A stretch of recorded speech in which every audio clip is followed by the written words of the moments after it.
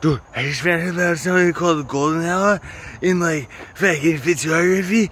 It's the last hour before sunset, and like it makes your subject matter disgusting. Like I look amazing right now, dude. I fucking, I look good.